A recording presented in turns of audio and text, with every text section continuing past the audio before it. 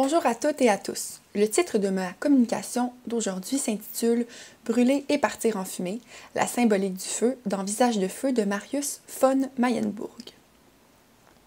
Depuis les années 1980, la production dramaturgique allemande se démarque par une vision apocalyptique de la société. Ce regard se justifie en grande partie par la construction du mur de Berlin, puis par sa chute en 1989. Ces événements viennent pointer la désillusion qui a eu lieu autant dans Berlin-Est par l'échec du projet socialiste que dans Berlin-Ouest en raison des excès du capitalisme. Florence Bayet, spécialiste du théâtre contemporain allemand, souligne en ce sens que, je cite, les critiques des deux revues théâtrales réitèrent le même constat pendant les années 1980. Toute construction positive de l'avenir, toute perspective future optimiste semblerait avoir disparu des scènes théâtrales.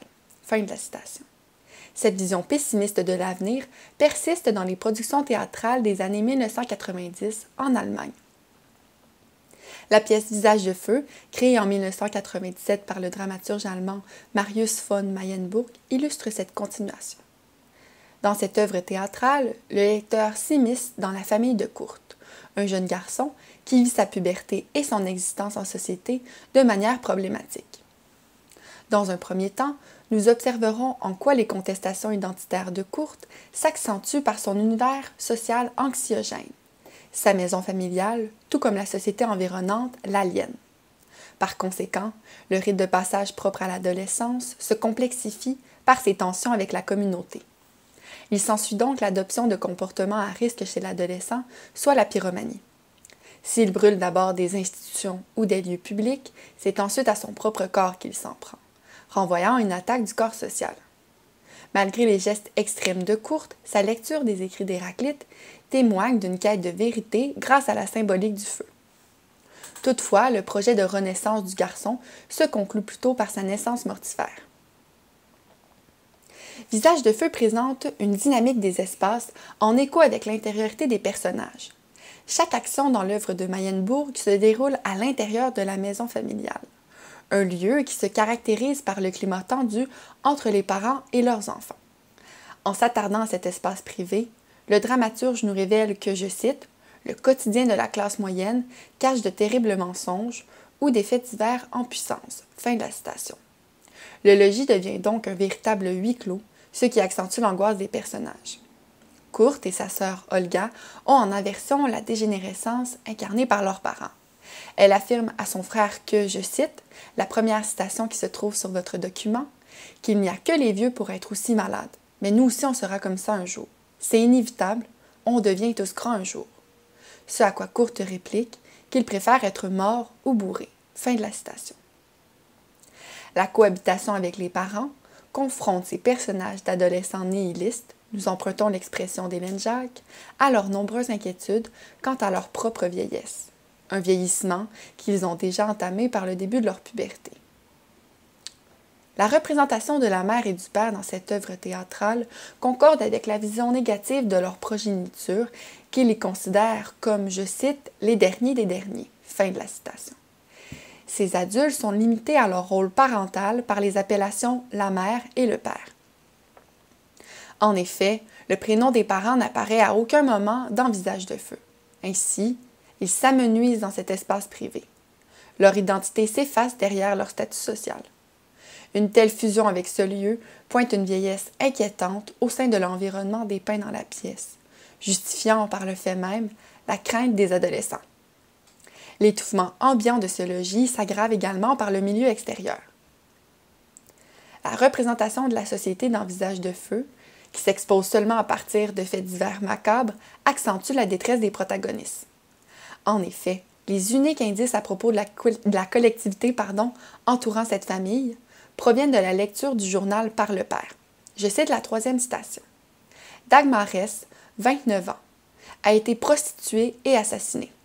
La nature des lésions semble indiquer fin de la citation. Il ajoute plus loin qu'il, je cite, suit cette affaire depuis des semaines.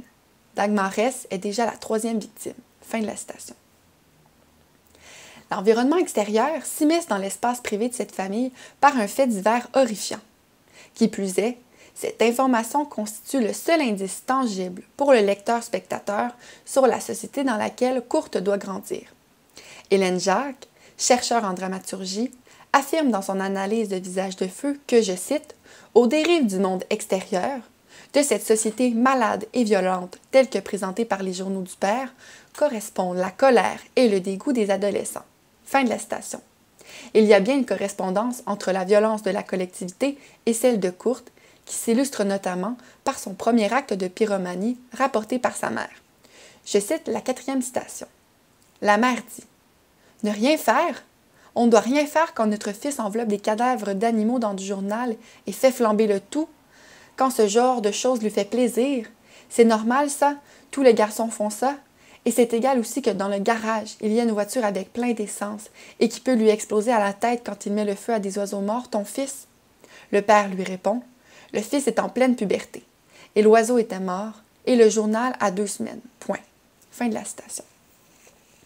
Ce n'est pas anodin que l'animal carbonisé se retrouve dans du papier journal, lui aussi en partie brûlé. En considérant le journal comme la synecdoque de la société, Courte souligne du mépris envers l'unique signe de la communauté, perceptible dans son milieu privé. Une impossibilité d'advenir pardon, dans la collectivité se dessine pour l'adolescent. Notons également que par l'appellation le fils au lieu de mon fils, il y a un effacement de la filiation entre le père et Courte. Ainsi, tout comme ses parents, celui-ci n'est pas pleinement reconnu par autrui. Les actes de pyromanie semble une manière pour le jeune garçon de s'affirmer, en plus de signifier son refus clair d'évoluer dans une société inquiétante. L'anthropologue David Le Breton s'intéresse aux conduites à risque chez les, adolescents, qu'il définit comme, je cite, des actions développées par le jeune, seul ou avec d'autres, mettant son existence en danger physique ou moral. Fin de la citation la dimension sociale de la pièce de Mayenburg, en, lien avec les enjeux identitaires du jeune garçon, marque le rite de passage en cours qui, comme le considère le folkloriste Arnold van Gennep, je cite, se retrouve à la base non seulement des ensembles cérémoniels qui accompagnent, facilitent ou conditionnent le passage de l'un des stades de la vie à un autre, ou d'une situation sociale à une autre, mais aussi de plusieurs systèmes autonomes qu'on utilise pour le bien des sociétés générales tout entières, des sociétés spéciales ou pour celui de l'individu. Fin de la citation. Le rite de passage apporte une structure viable à tout changement d'état au fil de la vie individuelle, ce qui, ultimement, apporte une cohésion sociale au sein de la communauté. Dans le cas de Courte, le rite de passage, annoncé par sa puberté, marque la transition de l'adolescence à l'âge adulte, une étape qui est déjà bien amorcée. Ce passage éminemment personnel devient un problème social dans ce contexte-ci, puisque l'accès au nouveau statut se concrétise par la reconnaissance de l'autre. En effet, l'agrégation, la dernière étape du rite de passage, signifie que, je cite, le passage est consommé et le sujet rituel a des droits et des obligations vis-à-vis -vis des autres. Fin de la citation. Courte a besoin d'un appui collectif pour signifier son passage vers l'âge adulte. Un rôle qui, dans le contexte de visage de feu, doit être tenu par les parents. Cependant, ils ne peuvent soutenir Courte vers ce nouvel état en raison de leur rapport conflictuel. Cette relation complexe est propre aux adolescents avec des comportements à risque, qui sont, je cite, des jeunes en souffrance, en quête d'adultes leur donnant le goût de vivre. Fin de la citation. L'adolescent semble donc choisir la pyromanie pour donner un sens à, son existence.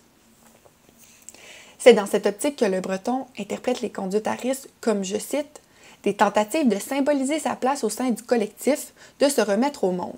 Fin de la citation. Ainsi, l'adoption des comportements à risque vient pallier le rite de passage en devenant une autre manière de signifier sa place au sein du collectif. L'idée de remise au monde importe puisqu'elle concorde avec l'imaginaire de la naissance, un thème dominant dans la pièce de Mayenburg. Nous y reviendrons ultérieurement. Cependant, les gestes de Courte prennent une toute autre dimension quand il s'attaque à son visage. Je cite la cinquième citation. Pendant la pause, je suis restée en classe, seule. J'ai regardé en l'air comment le feu grimpe le long du store. En bas, la saleté brûlée est tombée en dégageant une épaisse fumée. C'est allé vite et ça avait sa propre odeur.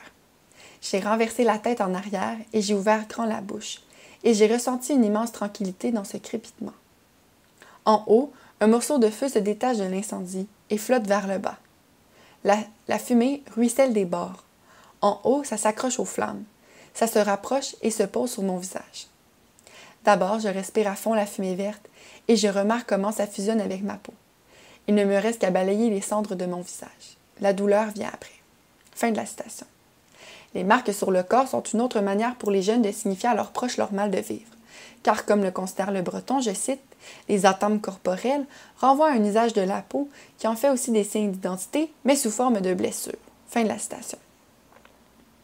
Les atteintes au corps deviennent ainsi une construction paradoxale de l'identité. Le jeune recherche une forme de contrôle sur sa propre chair qui se transforme sous ses yeux lors de la puberté. La situation de Courte nous intéresse d'autant plus qu'il s'en prend une partie de son être socialement significative, le visage. En acceptant sa défiguration, il altère volontairement son identité sociale. Je cite. Le visage est toujours épargné, L'intention n'est pas de se rayer du lien social, mais justement de se purifier d'une souffrance pour y revenir. Lorsque le visage est attaqué, le pronostic est plus grave. L'individu commence à perdre pied et coupe les ponts derrière lui. Fin de la citation. Pour vivre en société, le visage doit être reconnu par les pairs. La mère de Courte souligne cette importance. Je cite Ton visage, il faut que tu y fasses attention. C'est ta carte de visite dans la vie. Fin de la citation. Il n'est pas anodin que ce soit la mère qui donne cet avertissement après cet événement, car, je cite, le visage est l'élu de l'autre, qui prend naissance au cœur du lien social, déjà dans le face-à-face originel de l'enfant et de sa mère, le premier visage. Fin de la citation. En atteignant sa figure, le jeune garçon manifeste sa tentative extrême de se rompre avec son origine sociale. Par conséquent, courte sombre dans un point de non-retour par la marque mortifère sur son visage, car, je cite, La défiguration est vécue comme une privation d'être, une expérience du démantèlement de soi. Fin de la citation. L'événement dans la salle de classe confirme que l'adolescent n'est plus seulement en crise identitaire, mais plutôt en crise de folie. À la suite de cet incident marquant, le jeune garçon débute une recherche sur la symbolique du feu par sa lecture des fragments d'Héraclite. L'obsession de Courte pour le feu se nourrit des écrits du penseur grec, ce qui témoigne de sa quête de vérité. Nous interprétons ainsi cet acte de lecture car, je cite, la notion de philosophie apparaît elle-même comme inévitablement liée à celle de vérité. Fin de la citation. Bien entendu, cette quête se veut plus précisément celle de la vérité du texte d'Héraclite, une vérité textuelle qui est en écho avec les préoccupations existentielles du jeune garçon. Courte s'intéresse à cet auteur présocratique après les brûlures portées à son visage. Au sein de la maison familiale, l'acte de lecture lui permet de plonger dans un mutisme recherché et désiré. Cette posture à l'écart des autres s'apparente à celle d'Héraclite dans l'histoire de la philosophie. La description du philosophe, surnommé la figure de l'obscur, évoque plusieurs caractéristiques se retrouvant dans les comportements sociaux du garçon. Le non-conformiste de Courte convoque celui du penseur grec. Je cite Philosophe qui n'a pas su, ou plutôt, qui n'a pas voulu satisfaire aux exigences de la vie en communauté. C'est ainsi que le nom d'Héraclite, dès le IVe siècle avant Jésus-Christ, en vient à désigner le fait de ce que la philosophie pouvait atteindre en termes de misanthropie. Fin de la citation. À la lumière de notre lecture de Visage de feu, il semble que Courte symbolise un Héraclite des temps modernes, en refusant d'adhérer aux normes de la collectivité. Ce texte ancien permet également aux jeunes garçons de saisir la symbolique créatrice du feu. Courte lit dans les fragments d'Héraclite que je cite Le feu est raisonnable et régit toute chose. Fin de la citation. Ce caractère raisonné souligne le fondement ultime derrière la lecture de Courte, accéder à une vérité plus tangible envers son existence. Héraclite soutient à cet effet que je cite C'est l'héritage de tous les hommes de se connaître eux-mêmes et de vivre dans la clarté. Fin de la citation. Par l'utilisation, par du feu, Courte semble faire la lumière sur sa naissance qu'il vit depuis toujours comme un fardeau. Le garçon accède ainsi à cette élucidation en plus, euh, en plus d'un passage vers une nouvelle création de soi, faisant référence à, je cite, la valeur positive de recréation du feu. Fin de la citation. Par sa lecture des écrits d'Héraclite, l'adolescent constate qu'il y a la possibilité d'une remise à l'ordre du monde et de soi grâce au feu. C'est la raison pour laquelle nous interprétons la fusion du garçon avec cet élément comme une tentative de combler le rite de passage non signifié par l'instance parentale et par la société. En brûlant son visage, Kurt remodèle le siège de son identité sociale en tentant d'accéder à une mise au monde satisfaisante. Toutefois, il résulte de cette passion du feu une finalité autodestructrice pour l'adolescent. Pardon. La possibilité d'une renaissance pour Kurt par ses comportements à risque et par la symbolique du feu laisse plutôt place dans Visage de feu à une naissance mortifère. L'imaginaire de la naissance structure toute la fable, en plus de mener jusqu'au suicide du jeune garçon. Je cite la huitième citation. Il y a eu une erreur, Olga. Tu as été une erreur. Devenir unique, se couper des liens et tout fermer, tout serré, bien compact. Fin de la citation. Son projet de s'effacer totalement du lien social par le feu prend tout son sens dans cette scène finale. La trahison d'Olga, sa dernière relation sociale, après que tous les deux aient commis le parricide, engendre la disparition totale de Kurt.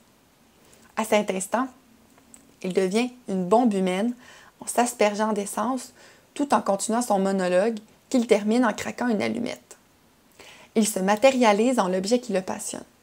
Cette correspondance s'illustre par son premier monologue, dans lequel il partage au lecteur-spectateur les astuces pour faire une bombe artisanale parfaite, en soutenant que, je cite, Il faut juste que ce soit bien serré, bien serré. Fin de la citation. Pour Kurt, cette caractéristique de l'obus prend la forme d'un repli sur lui-même. Il recherche une unicité en dehors du lien social, donc dans la mort. La renaissance de l'adolescent devient paradoxale en faisant place à une naissance mortifère par le feu. Le rite de passage entamé dans le parcours de Courte ne pourra jamais advenir, car au final, il devient plutôt un rite funèbre dans cette dernière scène. Ainsi, en terminant, la finalité mortifère de Courte dans Visage de feu de Marius von Mayenburg semble bel et bien dénoncer un monde défaillant qui mène à la perte de l'individu.